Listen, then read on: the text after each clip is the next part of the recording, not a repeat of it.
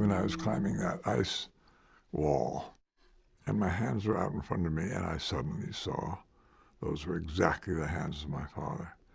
And why shouldn't they be? He was my father. But it wasn't like that. There was Dad's hands right in front of me on the snow, you know. It gave me kind of a turn. But it also gave me a kind of an insight into time, how that works.